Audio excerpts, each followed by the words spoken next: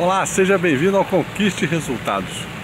Hoje eu vou fazer um teste entre dois gravadores digitais, o Zoom H1 e o Sony PX312.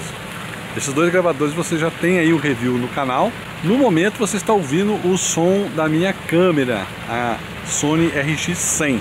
Eu estou num lugar relativamente barulhento, que você tem ali ó, a fonte de água, tem também um motor ali que impulsiona aqui a piscina. Então tem um pouco de barulho, exatamente eu escolhi dessa forma para a gente ver a capacidade desses dois microfones em ambientes assim externos e com barulho também externo, tá ok? Como o PX312 só funciona com 192 kbps, ou seja, só MP3, eu setei, ou seja, eu ajustei o Zoom H1 também para 192 kbps para vocês terem noção dele como funciona. Depois eu vou fazer uma chamada na sequência do Zoom H1 no modo Wave com 4816, né? Com 48 kHz a 16 bits, tanto no Zoom quanto no PX312, você vai estar tá com volume no médio, ou seja, 50% de volume ambos, ambos os gravadores. Também eles vão estar sem nenhuma proteção, sem nenhum pop filter, sem nenhuma espuma em cima então a gente vai ver também a influência do vento. Então não repare se tiver alguma influência de vento é, nesses gravadores, tá ok? Todos os áudios vão ser sem tratamento. Vão ser do modo RAW, ou seja, do jeito que eu gravar aqui, eles vão aí para o vídeo para vocês terem noção de como esses gravadores funcionam, tá ok? Vamos lá então.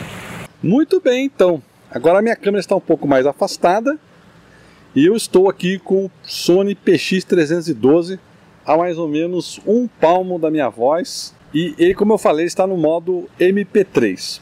O Sony PX312 tem um review aqui no canal, você pode clicar nos cards e ver esse review. E lá também tem, existe uma playlist aqui no canal onde mostra o manual de uso desse gravador.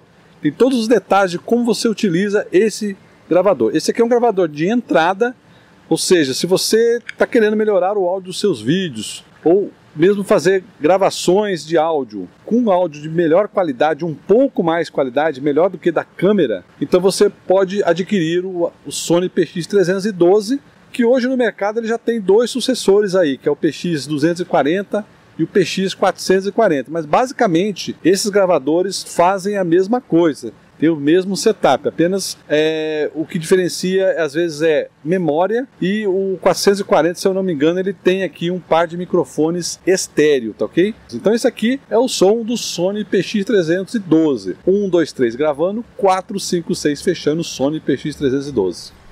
Muito bem, então agora eu passei para o Zoom H1. Ele está a 192 kbps com 50% de ganho igual o nosso Sony PX312, tá ok?